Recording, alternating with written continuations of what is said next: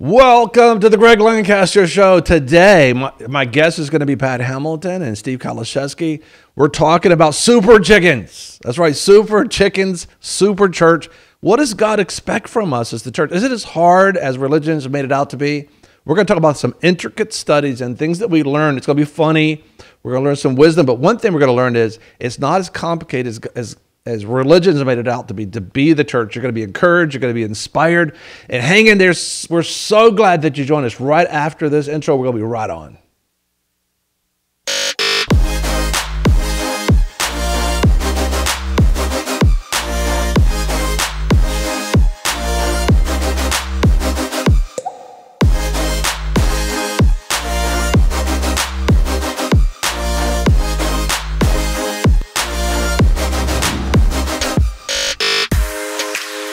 Welcome, welcome. Hey, Pat, how you doing, man? Hey, hey, what's going on? Doing pretty good. How how are you, Steve? What's that happening? Good Oh, to see you. I'm Good to see you. Uh, I mean, I'm telling you what. We're not going to talk about the hair color. So, is that real? Is the hair color real? Is it real? It's only as real as the as long as I choose the right color on the box. How come Pat and I are the only ones getting gray here? I mean, I don't know what's up. What's up Yeah, with that? You know what I'm, I'm saying? kidding. I don't really no, I'm just kidding. It's authentic. Lee, It what is. was in the box, or is this like real stuff? They real I color? not. I I, actually know. grew I actually grew it myself. You What? still frosting them? Are you defrosting them? Cover Can you the blood. defrost your hair? is it you defrost your hair? Is that what you do? Uh that would be a pat question. You know, if he, if he wasn't a Marine, we wouldn't do this. But he is a Marine, so he can take anything. Listen, That's we're so glad that's you joined us today on the Greg Lancaster Show, live from the Glory Zone. Hmm. And uh, we're going to be talking about, believe it or not, super chickens. Super chickens. It's actually a study that was done about super chickens. You know, we got we're, we're in a we're literally in a society that says, "Can you supersize that for me?" I like a super. As a matter of fact, I think they had a movie. Did they have a movie called Supersize Me or something like that? Mm-hmm. Wow, that was deep. Do you hear anything else about that? Can you stress that? Is it was it like uh, did it have pictures and video in it, or what do you think? No, there was a guy that actually did a like grassroots documentary all about like the fast food industry and he ate nothing but McDonald's food for 30 days. He had to be healthy, right? Oh yeah, I've heard of that one. It's actually a really good informational movie if you haven't seen it. I've actually seen that one, Pat. You seen that one? no, just the consequences from eating at that menu. Oh yeah. yeah, I quit eating them places a long time ago. I was so Yeah. confused. You pull up, you you want to order a hamburger, and they go, "Do you want to supersize that?" I was like, "I'm confused. What does that mean? I mean, it's already bad. I'm like a supersize for the thing?" And so, but you know, we're just in that mindset, aren't we? That it, Yeah. well, the world is, America is. It's like when I went to Israel. When I went to Israel, uh, there was so many shocks. But the biggest shock was when I went to the store, and they had little bitty containers for their food. I mean, we got big tubs of butter here. We got big tubs of everything. They had just little old small containers of food, and I'm like, maybe it's not right what we're doing in America, right? and then I, you know, went shopping with Donna, my wife, and uh, sometime back, back in the anyway. So, and I went to Sam's with her, and it's like shelves of just huge stuff. It's like, yeah, I would like not just one large box of detergent, but 30 boxes of detergents. Like know? warehouses, shelves, they're warehouses. Yeah. That's how blessed we are. We're just, so, I looked at that and said, thank God, look at this blessing that we have here, right? And so, but know, that tran that's actually translated onto the church where the people aren't happy or think it's church unless it's what? Supersized. You know, super, it's like, I know this is good, but can we have some acoustics with that and a little, you know, a little bit less of that? And we need some, can we give it a million dollar soundboard here? And by the way, he needs to do something with his hair. He needs to spike up more like Steve's hair. You know what I'm saying? He needs to be a little spiky, a little design, that type of thing. Well, there's a study done and uh, about literally discovering about corporations, and we can learn so much about you know how we do things by just looking at how things are. You know, Romans chapter one verse twenty says, you know, that we can understand God by the things that He's designed, and you can. Uh, this particular study done by Margaret uh, Heffernan, uh, she was doing a TED talk with TED Women in 2015, and she's talking about you know what makes corporations successful you know what makes companies successful everybody's interested in that and i would hope the church is you know interested in that and i'm thinking about you know i'm thinking about you know what you know what jesus said and before we enter into what she talks about it's very important i mean this think about this they studied chickens and and don't go away because we're going to tell you the secret to be a successful chicken, right? To be a successful super, not not a super. I don't know. It's a secret, and we're going to share just a moment. But I want you to hold on. I want you to listen or watch what you know Jesus said about it in His Word. He's talking about, you know, specifically about how can we. And a, a successful chicken is measured by this: how many eggs did you lay? How fruitful were you? Right. That's that's a successful chicken. Well, look at this. Jesus tells us right here in the scriptures. He says, he says, he didn't say that. This is what he said. Let me see what he said right here. There we go. There we go. This is what he said.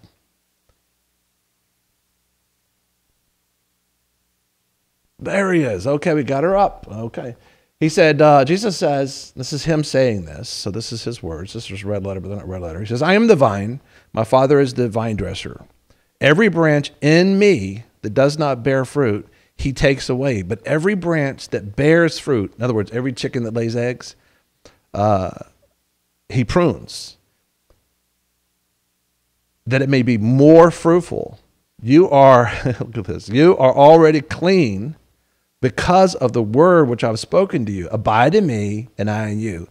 As the branches cannot bear fruit by itself unless it abides in the vine, neither can you unless you abide in the vine. Look, look it says a little bit further down. He says, He says, I am the vine. So Jesus is saying, I gave you an analogy here, but he's going, you know, I am, I am the vine.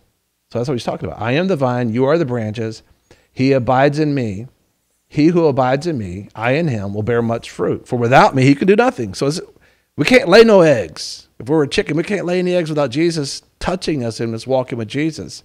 If anyone does not abide in me, he is cast out and thrown and to be withered and gathered in the fire. Oh my goodness, go to verse 7. If you abide in me and my word abides in you, you can ask whatever you wish and it'll be done for you. By this, by being fruitful, by laying more eggs in the analogy, he says, You'll be glorifying the Father. This is how we glorify the Father by, by, by being fruitful, that we may bear much fruit. Look at verse 16. He says, You didn't even choose me, but I chose you and appointed you that you should go and bear fruit, and the fruit that remains, lasting fruit. And this is to our Father's glory that you do this. So you're looking at it, it's just so powerful to watch, you know, when you're thinking about, you know, what, you know, we're not even looking into it's like how do we be more fruitful? And we kind of look a lot like the super chicken when you think about it. You know, we're actually thinking that, you know, you know, we should, you know, pay somebody to do the work, right? Well, here she is. This is this right here is um, let me get her name for you so I get it right for you. This is um, Margaret Hefner. She's speaking at the women's conference at a women's summit and TED Talk TED Talk Women, and she's talking about a study that was done for a super chicken. Check it out. We'll be right back after she's talking about this to talk about how does that apply to us if we're looking at the super chicken, super size me type menu. An evolutionary biologist at Purdue University named William Muir studied chickens. He was interested in productivity. I think it's something that concerns all of us. But it's easy to measure in chickens because you just count the eggs. He wanted to know what could make his chickens more productive, so he devised a beautiful experiment. Chickens live in groups, so first of all, he selected just an average flock and he let it alone for six generations. But then he created a second group of the individually most productive chickens. You could call them super chickens. And he put them together in a super flock. And each generation he selected only the most productive for breeding. After six generations had passed, what did he find? Well, the first group, the average group, was doing just fine. They were all plump and fully feathered, and egg production had increased dramatically. What about the second group? Well, all but three were dead. They'd pecked the rest to death. The individually productive chickens had only achieved their success by suppressing the productivity of the rest. Now, as I've gone around the world talking about this and telling this story in all sorts of organizations and companies, people have seen the relevance almost instantly. And they come up and they say things to me like, That super flock, that's my company. or, That's my country. Or that's my life. All my life, I've been told that the way we have to get ahead is to compete. Get into the right school, get into the right job, get to the top. And I've really never found it very inspiring. I've started and run businesses because invention is a joy, and because working alongside brilliant creative people is its own reward. And I've never really felt very motivated by pecking orders or by super chickens or by superstars.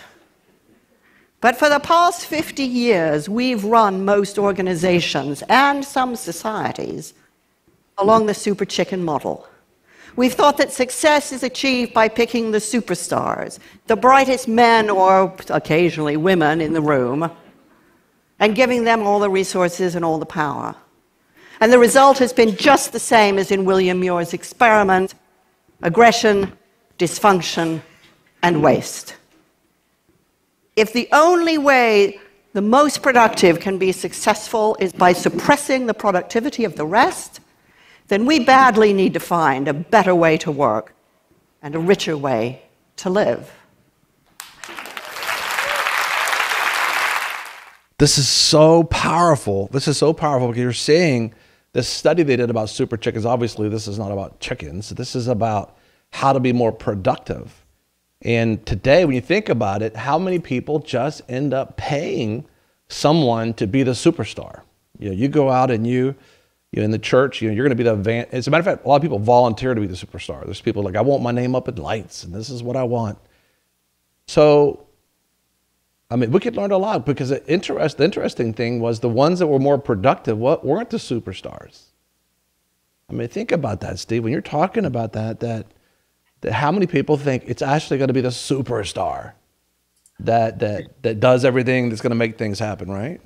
Yeah, and, and that's why I think that was so wild that in that study they found out that the the way that productivity came was because they basically pecked out the other ones that they thought was slowing them down because they themselves were, you know, the super chicken. And it's like you look at that verse like you read in John 15, it's, you know, Jesus said, In me you will bear much fruit. Yeah. And it's like already the only super chicken is Jesus. And it's that recognition of just like you not that he's a chicken, right? where it said Jesus. Lord. Jesus is not a chicken. Wash me, Jesus. That was Steve. But okay. it's it's it's that awareness of that you can't have any production if you're trying to do something in your own strength. If you're trying to realize that you're going to do it on your own, you're already it's, it's only a matter of time before you burn out. And it's like when you come to the recognition that what is success? What is production? But it's like you got to have people around you. You got to have that awareness of like i can't do it on my own. But you see god's designed it that way that each of us have a part. And you know some people think it's just so much easier for me just to do it. But the truth is you're not supposed to do it all you mm-hmm. know? And in in god we're supposed to listen. Um, if any in the movie uh, the the drama years ago that i don't vouch for but the title of it you know jesus christ superstar and that he's the superstar of his church. You know, he's the one that is uh, that he's the star. You know, Tommy Tenney says God has this this interesting idea that church is about him. You know, and it is. It's totally about him. And and when you think about what's what he's doing, that he said he calls us to be fruitful. He says, I want you to be fruitful. I want you to bear much fruit. I want you to bear fruit that lasts. I want to bear, I want to bear fruit that lasts. And um, and it's so important to think about this because Jesus says we're not known by we're not known by what we what we uh, what we do. We're known by our fruit. Yeah. I mean, you think about it. the word known, when you think about known, you know, a lot of people, a lot of superstars that people are paying to do something, they're known.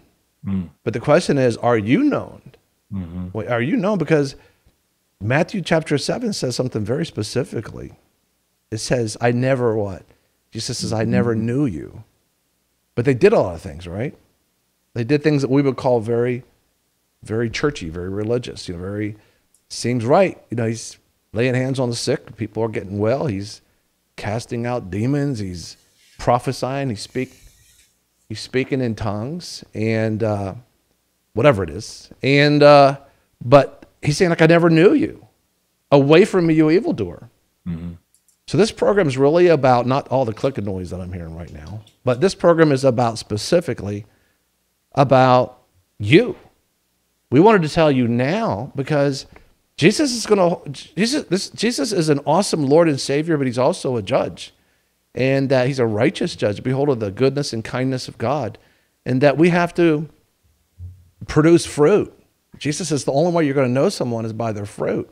And the super chicken analogy is the fact that okay, they got five eggs, they got four eggs. You know, what does Jesus call fruit?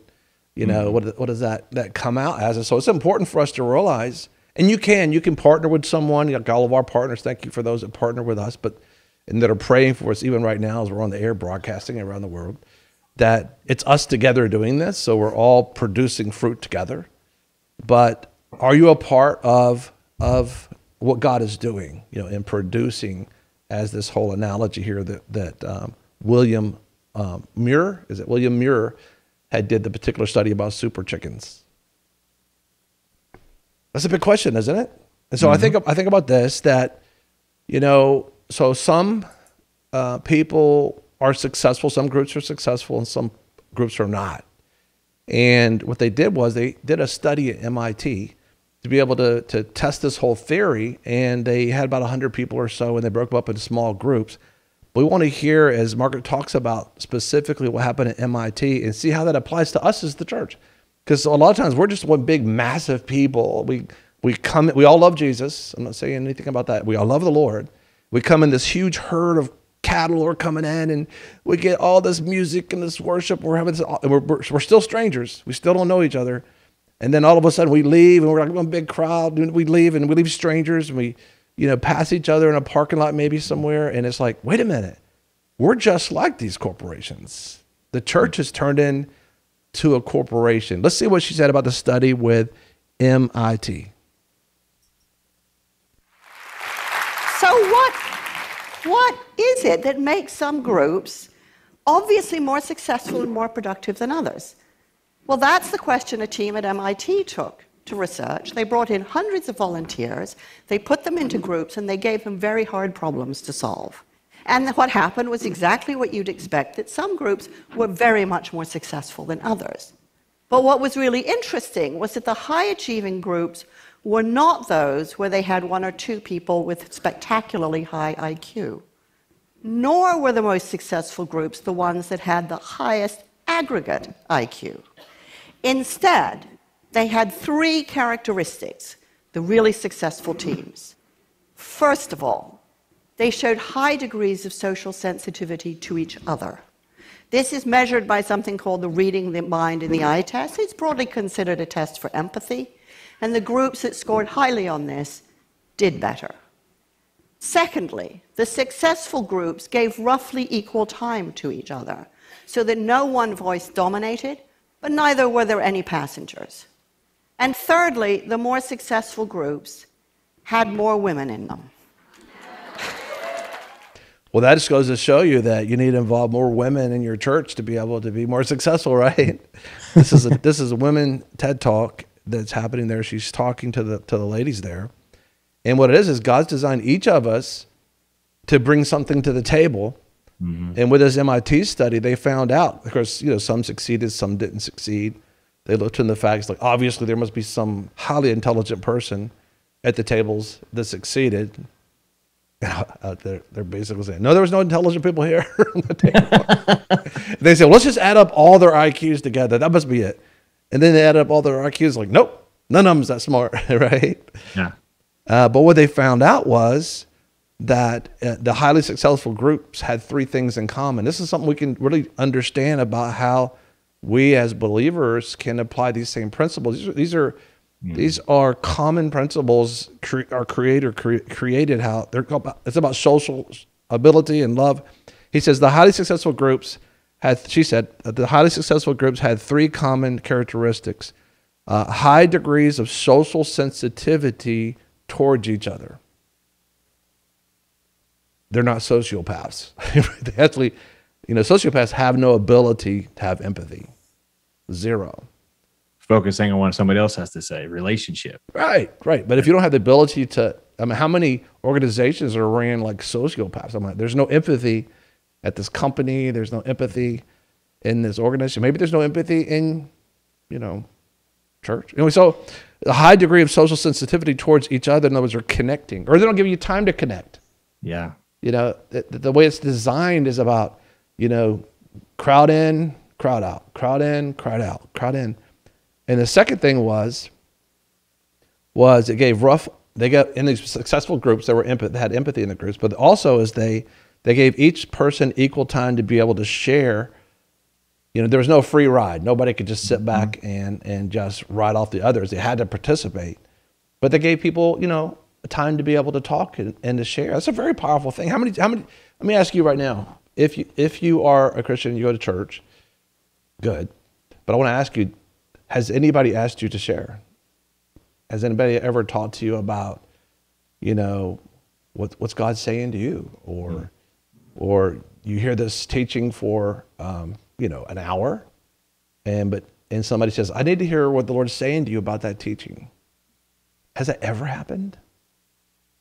Well, they're saying successful to be successful here. Everybody needs to bring something to the table, and we'll talk about scripture that fits to that. The third thing was that they had women in the group, and so when you think about those three qualities, is that successful groups have social connectivity, not social network like this technology stuff, but you're you literally have social connectivity that you. This is going to be shocker.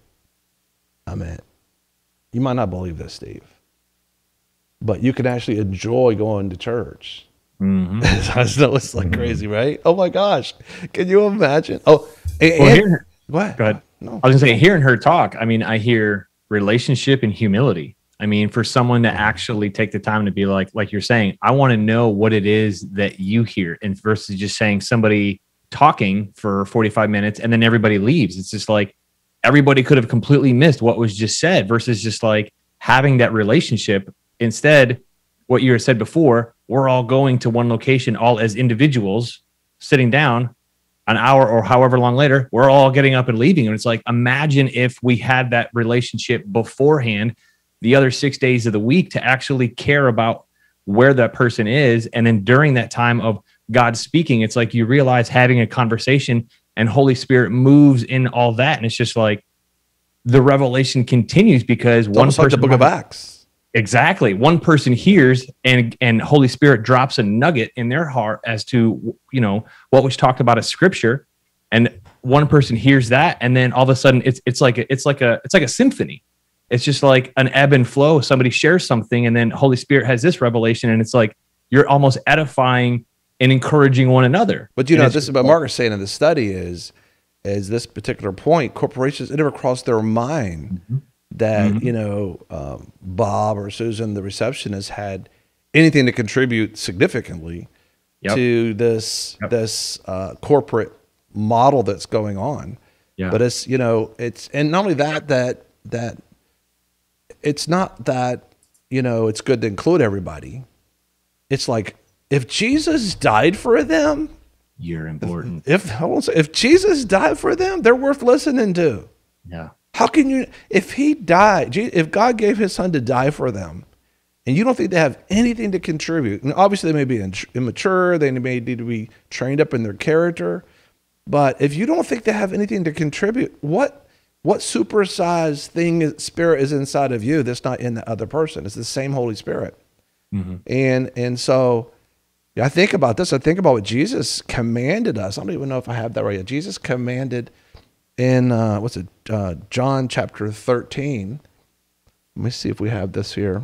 We can see it, but in the scriptures, he's commanding specifically what for for us. uh, He said, "I give you a new commandment." This is like this is it. I want you to do this, right? So he says, "A new commandment I give to you: love one another as I have loved you." So you must love one another. And then he says, by this, by this sensitivity towards each other, like they're talking about in this study, he said, by by this, everyone will actually know that you're my disciple if you love one another. So what she's talking about in this study is about what Jesus told us. He says, you'll function best when you actually care about people, you have empathy for people, and bring everybody to the table. And what happens quite often when you start first start bringing bringing people to the table is they're shocked they'd never been brought to the table before. They're used to sitting at the kiddie table, you know, going like, just feed me. I got my little fork and my knife and that type of thing, and just, you know, fork it out to me, and I will stay a child forever, you know. And, uh, so it's a biblical principle that she's talking about. You know, when she's talking about, you know, that that having empathy and connectedness. This is the most successful groups uh, uh, had the social connectivity, and I think about this. This is going to really surprise you. I know I, I said this earlier, but you could actually enjoy hanging out with God's people. you know, it's something you look forward to. It's something that you protect. It's some. It's first of all, Jesus said, "Whatever you've done to the least of these of mine, you've done it to me." Right. So, if you're not doing something to the church, to another believer, you're not doing it to Jesus. So, a good thing or a bad thing. And then he says in Hebrews chapter 10, verse 6, I believe, he says, he says, I'm not unjust. I will not forget the love you have shown me, and that you continue to show me as you help my people, and you continue to help them. If you're kept away from the table of participating and being the church, and I'm not talking about just Sunday at 10 or whatever, then you're missing out on loving Jesus. You know, people say, Oh, I love the Lord. Jesus says, you know, it all, it all depends on how you relate to your brother and your sister. If you treat people bad, you treat Jesus bad. Mm. But that paradigm is learned, like it was at MIT and these studies, was, oh, I didn't realize we need to bring everybody to the table. it just never crossed their mind. You know, they would just headhunt. I remember Donna worked at uh, Balboa Life and Casualty, my wife, and they had headhunters calling. They call them headhunters, which are basically looking for, you know, super chickens. And their job was to hunt all these corporations and find who is the best player on the team, like sports. And uh, and they would try to pay that person and hire that person, and then they would basically be a broker to to transport super chickens from one place to the other, thinking their company was going to be better. But what they're finding out through this understanding is God's created us for social connectivity, and uh, I know that when we come to, I know when we come to church, we come to gather up. It's it's a very it's most part most exciting time you know, I don't know about for everybody else. It's for everybody. I, I, get excited when I come because, first of all, there's some great cooks, you know, and I know when Jesus was uh, coming to meet with the church that he would uh, eat with them. Do you know that? And he would drink with them. Isn't that something? So, so what do you think about when uh, you come together at church? Is this something exciting for you? Is this something? you're like, oh no, oh my goodness, I got to get my tie out, and you no, know, absolutely. To me, that's family. To me, that's I, I have never had um, a group of people where I feel more valued because at that time, it's like you know what we're talking about. People actually care about you. They care about what you have to say. They care about what you're going through. That there's there's there's relationship, and yes, the food is phenomenal. And but it's also not just the natural food it's the spiritual food being able to be there that's why one of, one of the things too is just like i remember being with the church and it was just that moment you know jesus says when he's talking about um, that moment with the the woman at the well um, the samaritan woman and the disciples walk up and he, jesus says i have meat that you know not of my meat is to do the father's will and it's just like that moment of like Jesus says, My flesh is real food, my blood is real drink. And it's interesting that when two or more are gathered and they're talking about Jesus, they're talking about the testimony, they're talking about a miracle of what God did in their life, they're talking about scripture or what God spoke to them during the week. It's suddenly, it's just like he's there. His presence is there, his real bread. And it's like you're feeding on his presence. And it's just like the meat of his presence. And it's just like, once you have that, once you taste that, that's why, you know, I think it's the book of Psalms that says, taste and see that the Lord is good. And when you have that fellowship with people who are hungry for Jesus, that want to spend time with people who are hungry for Jesus, it's just like, why would you want to be anywhere else? We think about it. Jesus said, where two, where two or more are gathered together in, in my name, not mm their name, but in my name, mm he shows up. Amen. I mean, who wants to go to a quote church meeting where God doesn't show up. Yeah. I mean, that's like a, that's just a very sad event. And, and what God wants. You know, of all the things that God chose to do was to save us through his own family.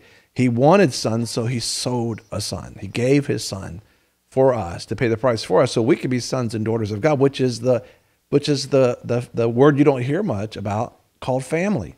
It's interesting that everything that you can imagine is trying to attack the whole concept of family. Hmm. But it could it be that the church has left it? I know that uh, Ken Sumrall, uh, spiritual father to me in the Lord this past is with God now, that uh, he said, you know, you institutionalize your kids when they're young, and now they're going to institutionalize you when you're old. But in, in, between that is a religious institution. Well, all of a sudden we just institutionalize God and how we do things. And you're born into things. Sometimes you're just born and you think it always was that way. But what you do is you go into scripture and find out, say, wait a minute, it's not that way. I remember reading scripture going, you know, early in this walk and saying, wait a minute, I don't see how that fits in what we're doing. I don't, I don't understand it. But if there's no fear of God, I want to say this outright, you need fences. You need, you know, you need, if there's no parents, you need orphanages. You need somebody that's going to take care of God's people. And people are doing hard as they, they're working as hard as they can to do that. But in Malachi, he says, before the great and dreadful day of the Lord comes, he would send the spirit of Elijah and he would turn the hearts of the fathers to the children, the parents to the children, and the children to the fathers. That's a family paradigm. That's a family paradigm. He says, or else I'll smite the earth with a curse. So the earth begins to shake when we refuse to be able to respond to what God's expectation is of his church, which is family. And so you know, they call they talk about it as, as social connectiveness in this study, but what we're saying that's just like a family connectedness. As a matter of fact, we get I want to listen to her again. She's talking here about social connectivity being the key. But you know, Steve, I want you to share after she shares this about you know how foreign the concept of, of peaceful family mm-hmm. was, you know, when you first started seeing the church as family. So Mar- Margaret's talking here about what the key to their success was was social connectivity. But the striking thing about this experiment is that it showed what we know, which is some groups do better than others. But what's key to that is their social connectedness to each other. So, how does this play out in the real world? Well, it means that what happens between people really counts. Because in groups that are highly attuned and sensitive to each other, ideas can flow and grow, people don't get stuck, they don't waste energy down dead ends. So you look at that, and so what they discovered was that that it just works when there's social connectivity. You, you know, ideas do not come from organizations. Ideas come from people. People decide they're going to have one. Of all the things that Jesus died for, the, the one thing that Jesus died for is for people. It's not for your building. It's not for your organization. It's not for how you dress. It's for human beings. And uh, but when we're together like that, you know, it's sort of like talking out loud. There's sometimes, you know, I think it was uh, Jordan Peterson that said the reason why people go to therapy is so they can talk. And when when you when you start talking, you start thinking. And so those two things together help you begin to work things out. Well, if we talk to each other in God's presence, God ideas begin to form. You know, good good ideas, God ideas, God just drops the wisdom in. And so often we're trying to find out what God's wanting to do ourselves.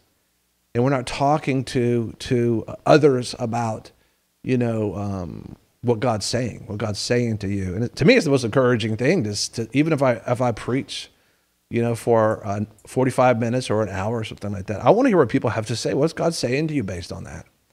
If you haven't ever done that as a pastor, it's like a it's like a, a final quiz from every test to find out. I was like, my goodness, did they get the message that's going on? You'll find out. They God takes it to whole new levels. And so meaningful relationships is what's discovered in this particular study, which just means loving one another and bearing each other's burdens. That's what we're called to do. The, the, the one another's that take place, but it happens in the context of relationship.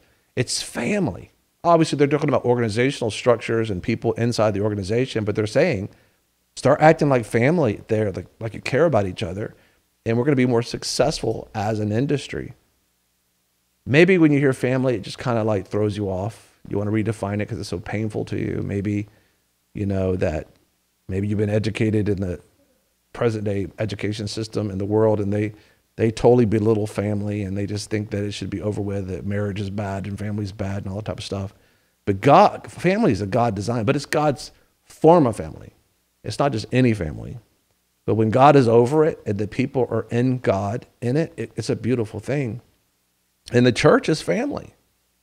Steve, talk to us about how, you know, that the first time you when God obviously you got an awesome testimony. We'll we'll share that and we'll make it a link on this where you can you can hear his testimony about how he he, he met God or God God met him and uh, at, a place called Miller Ale House, but we can't go there. Now. So, but you came to God and you were watching you were watching the church. You were watching mm-hmm. the church, and uh, what was going on? What was going on? uh, people were gathering. We were sitting around a kitchen table. Everyone had brought food. Everybody was just talking about the Lord, what what God was doing, and I was just sitting, watching, waiting for the argument to break out. Why? Waiting for a, waiting for a plate to be thrown, waiting for somebody to stomp out the door, something. And I remember just being shocked and thinking to myself, how can so many people come together and talk for so long and nobody argue? Nobody burst out in some fit of rage and leave. And i and i was just like i was absolutely speechless. And i was watching this and i'm just like what is this because like just like you said growing up my grid for family was just the dysfunctional family show. But right, which is most time, families, like, most families, right outside of you God just, are dysfunctional. Yeah, and that's the thing is you don't know how to do family God's way, especially if one if you've never been taught it, if you've never seen it, if you've never had it modeled in front of you, and it, it gives you empathy for people who have never known. It's like, well, if God says do it this way, but they themselves have never seen it, how unfair is it to expect something of someone that they themselves have never been taught? Yeah. So when God called me, when God just found me and literally radically saved my life, amazing. Mm.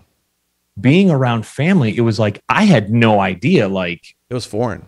Oh, absolutely. It was, but, but yeah, it was. It was like wow, I like that. Yeah, yeah, and and but the thing is though, I couldn't even put words on it because I had never seen it before.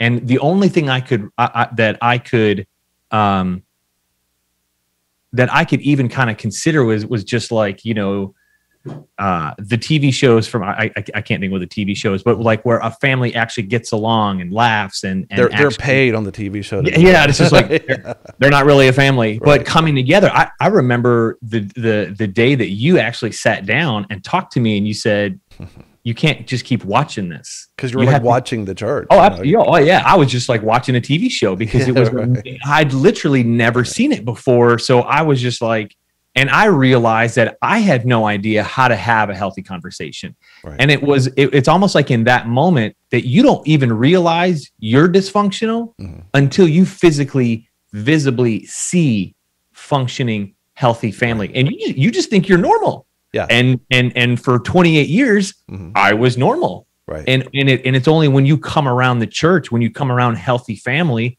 when you come around people who love you for who you are, mm-hmm.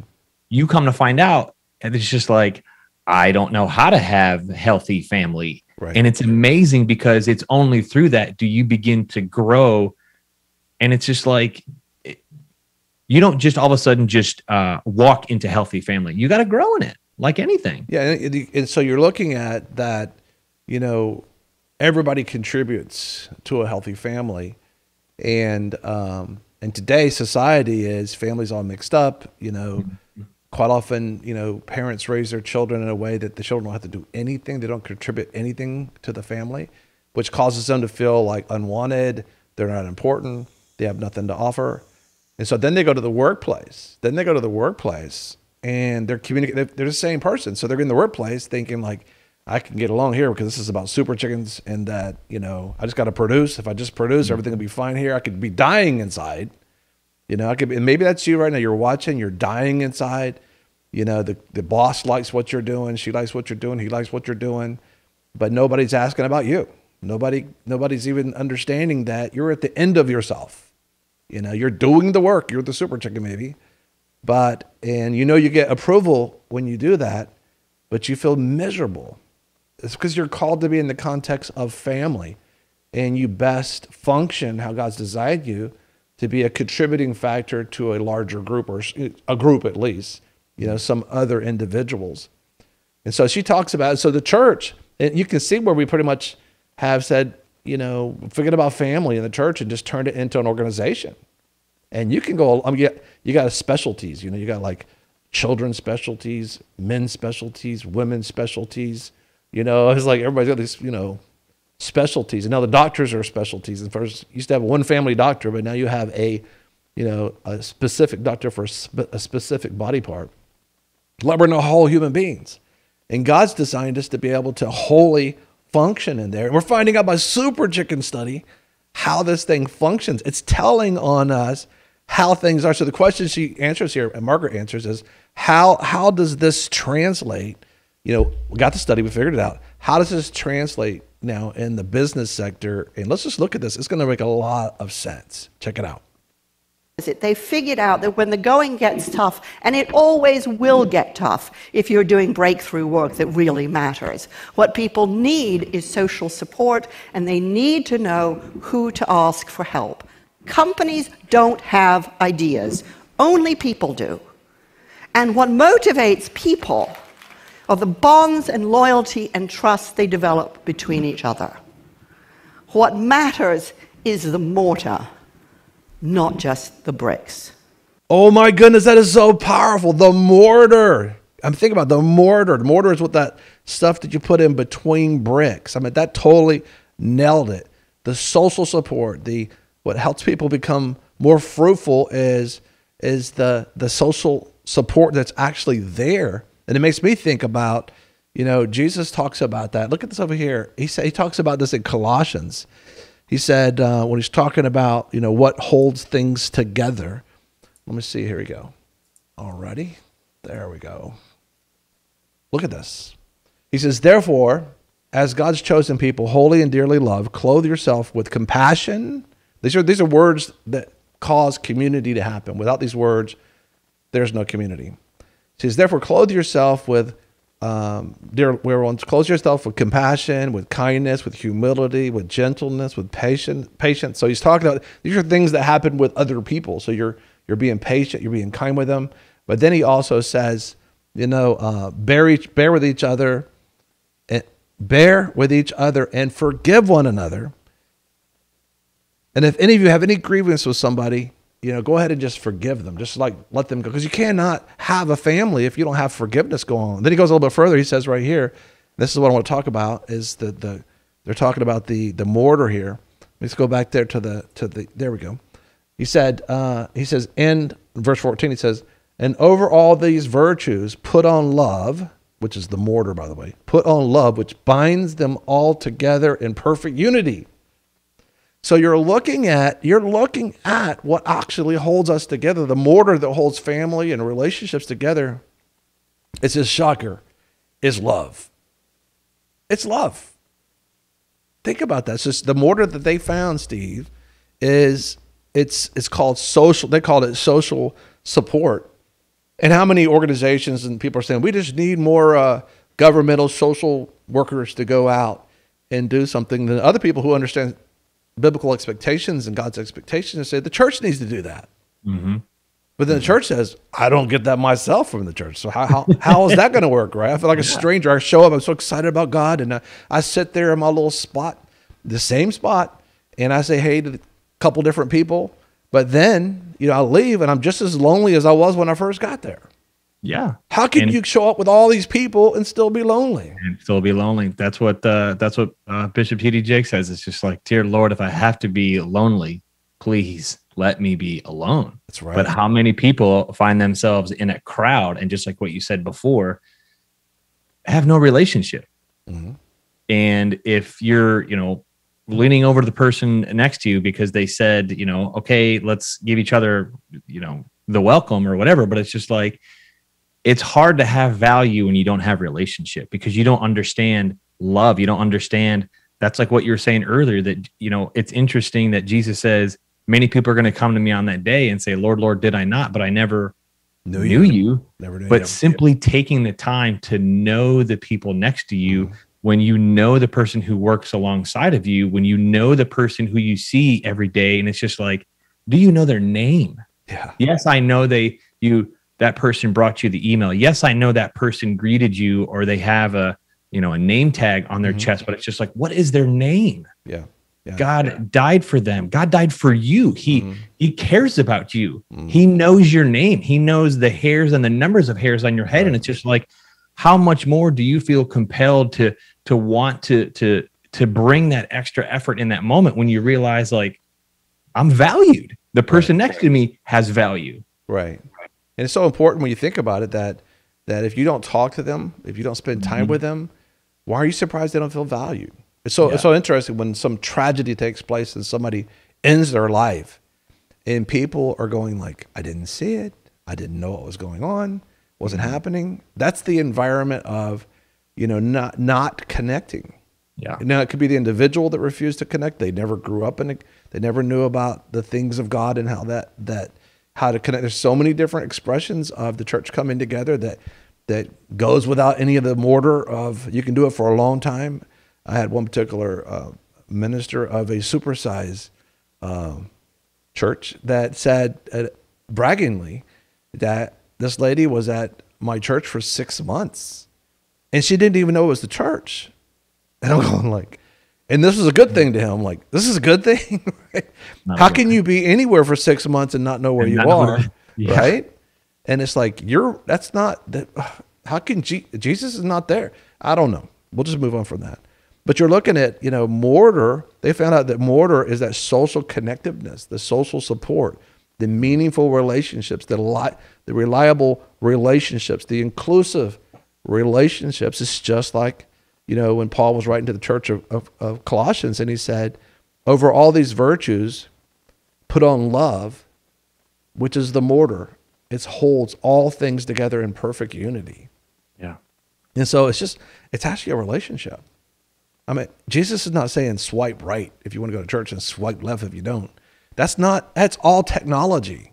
That has mm-hmm. nothing to do with intimacy and being with someone. And it doesn't satisfy how many people, you know, it's like, I got a thousand friends. Like, how can anybody, God can do that, but we can't, we can't do that. yeah And so so many people have a relationship with the five guys in Silicon Valley, girls, guys and girls that are running those companies. We did a program on that. We'll make it a related below that you can see it. And they they're thinking they have some sort of relationship, but all of a sudden, these consequences happen in their life like they didn't know anybody. They felt so unknown. This is the most medicated emotional medication uh, society I think that we've ever had because people are suffering about from so much depression.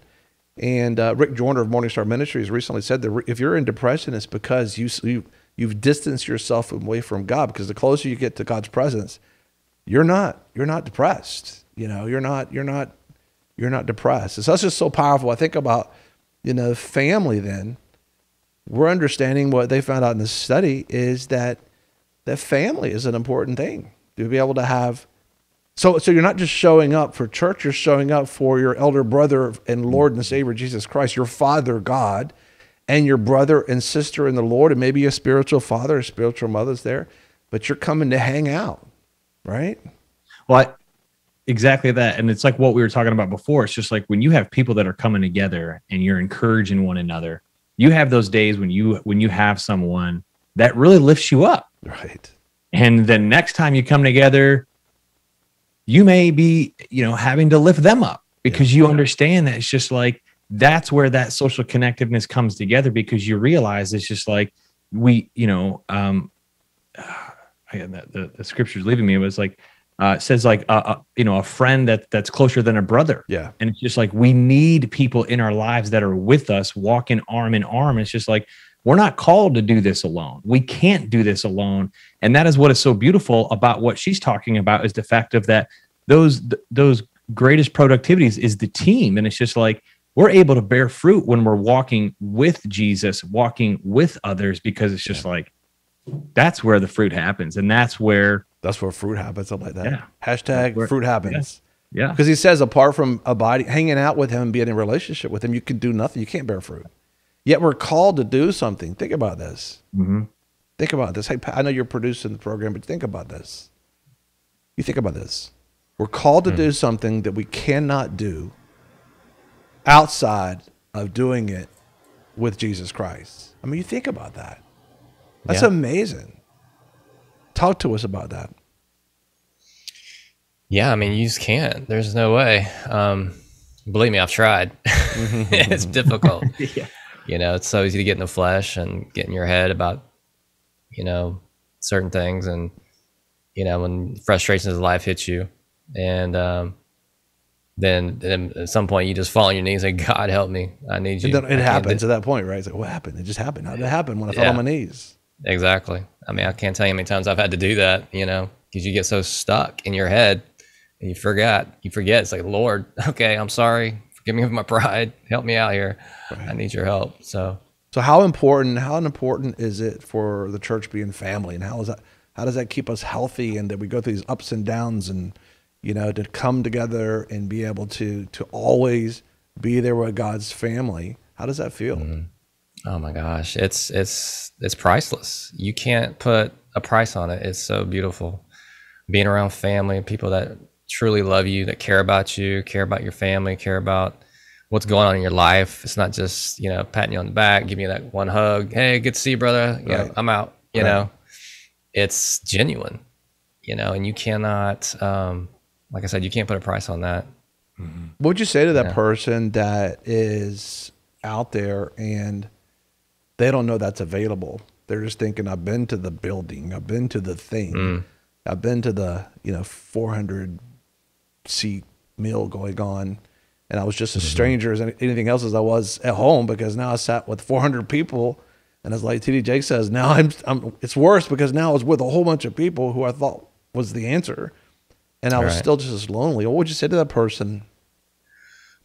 You know i would seek out relationship you know find another man if you're a woman find another woman you know get in a close relationship get accountable with somebody you know somebody's going to challenge you you know in these areas of your life that you may be struggling with you know somebody you can just pour your heart out, heart out to that you trust That's important. and oh yeah trust, trust, is yeah. that's totally and um yeah just meet on a regular basis you know whether it's outside the building you get you know go coffee shop go to each other's house Oh, you're talking about whatever. being a Christian. It's a Christian person. yeah absolutely a believer Mm-hmm. yeah absolutely um yeah not just anybody believe That's me right. Right. hey we, yeah big right. difference Big difference. so yeah i mean it's it's important stay in a relationship Yeah. Yeah.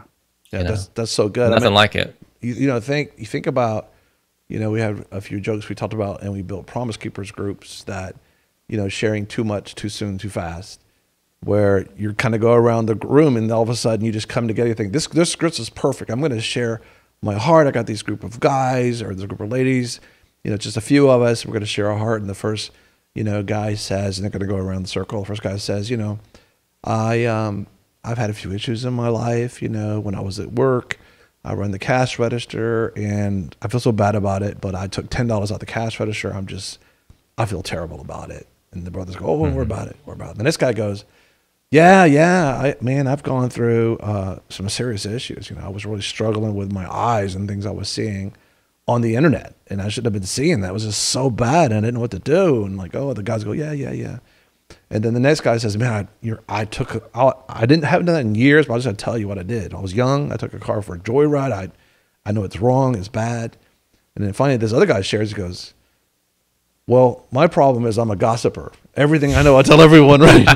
and so many people are burned that way because they just go find anybody and somebody says, you know, we're friends. And I think about, you know, I don't have his book with me, but um, Dr. Epps' book, and we'll be talking more about it. But, you know, these five different stages of a relationship that it takes time to build a healthy family. And we'll talk more about on our next program because we're going to continue this super chicken talk uh, on our next program. But the first thing you got to do is, is in building a, a healthy relationship is somebody has to know you first you know and so the, the first thing you're like hey how are you doing this is who i am this is what's going on or whatever and the second step after in, a, in building a healthy relationship with empathy in it uh, is um, to trust someone.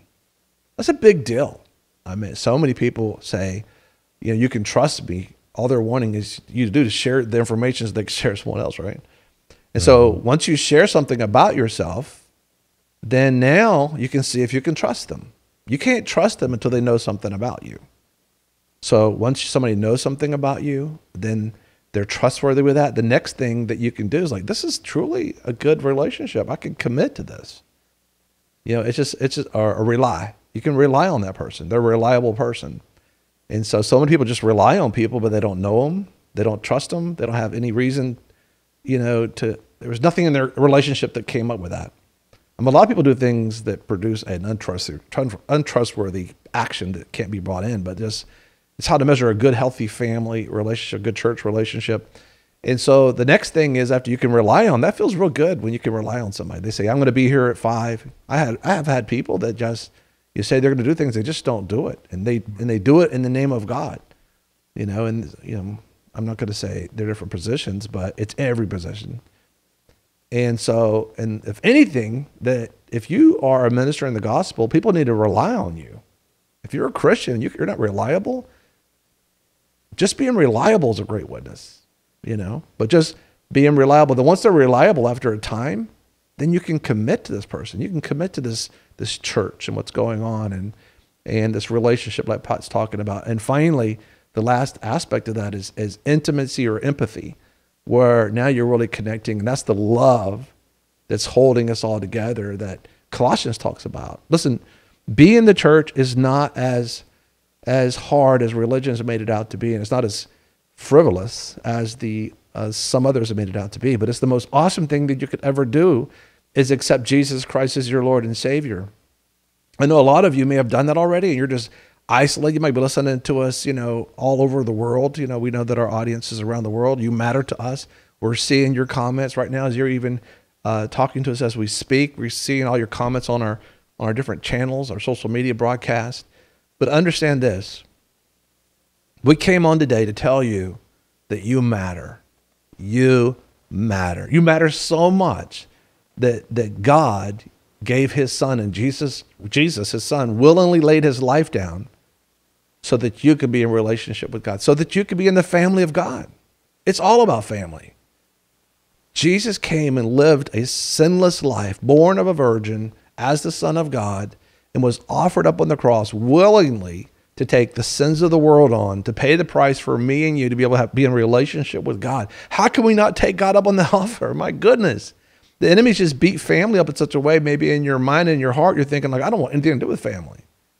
But if you say that, you don't want anything to do with God because God is a family. He's a father. He calls himself father. He didn't call himself, he called himself, he calls himself, when you talk to me, he says, call, first thing you say is, Our Father who is in heaven, hallowed be your name. It's of our Father. But you have a chance right now to accept Jesus Christ as your Lord, accept the price that he paid. All of us have all these issues that we come to God with, like, God, I'm just a mess. You know, I've had some issues uh, before I got saved. I had some issues after I got saved. Jesus didn't come to make, you know, bad people good. He came to make dead people alive. And we become alive in Jesus Christ. We get saved out of our, our sins. And listen, I want to encourage you, we're committed to walk with you. We're committed to walk with you as we begin to walk out. What does it mean to be family? You know, what does it mean to be the church? Difficult days are coming. But I want the safest place that you can be and the enduring place that you can be is rightly related in the body of Christ as a son and daughter of God. If that's you right now, if you want to accept Jesus Christ as your Lord and Savior, I want you to pray with me right now. I want you to pray with me. Just pray out loud. I mean this. This is why we're doing this. We're doing this for you. We wanted you to know God loves you and God's got a plan for your life. And all you have to do is invite him into your life right now. Invite him into your heart, and he will come up. He will show up. He will show up. Pray with me right now. Jesus, that's why you're talking to Jesus. Jesus, I believe you are the Son of God. That you came and lived a sinless life, perfect life. That you died for my sins. And you were raised again on the third day by the Father. Jesus, Forgive me. I've sinned against you. I've sinned against others. I sinned against myself. Forgive me, Jesus. Wash me, Jesus. Make me new, Jesus. Jesus, I want to be in your family.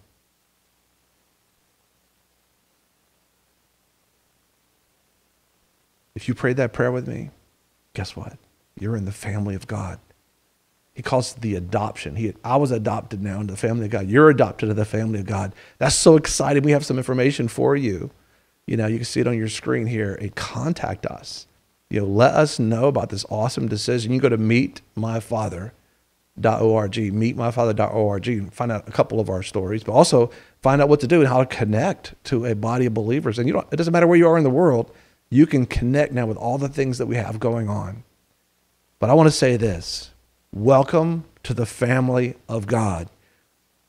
It's, it's something you have to learn, it's something we have to walk out together. But guess what? Our Father is committed to his family, and we're committed to you. This is what he tells us. He says, He's not unjust. He will not forget the love we have shown him as we help you. That's how we love God, is help is loving you and helping you.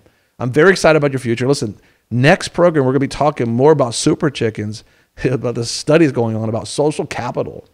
Do you know once once this particular company figured this out? Check this out. Once they once they figured this out, and one one person that did this study shared it with a company, the company when they put the principles that we're talking about into play in their company, they made fifteen million dollars more in profits that year. They were 15 million more eggs and they're more productive. 10% higher in the the, uh, the employee um, pleasure. They liked working for the company you know what i'm saying? It's like they made 15 they just put these imagine if the church puts these principles into practice. Guess what's going to happen? It's going to that's exactly what's going to happen in our next gathering. But also i have listen if you're not abiding with god if you're not abiding with him and pat if you can get that ready for us if you're not abiding with jesus and most people want to do it. He says we can't do any of this without abiding with him. We got to have a simple. We got to be able to to. And a lot of people want to do it. They just need a simple plan to be able to do it. Guess what? We have a simple plan for you, a free simple plan at iabide.org. Check this out.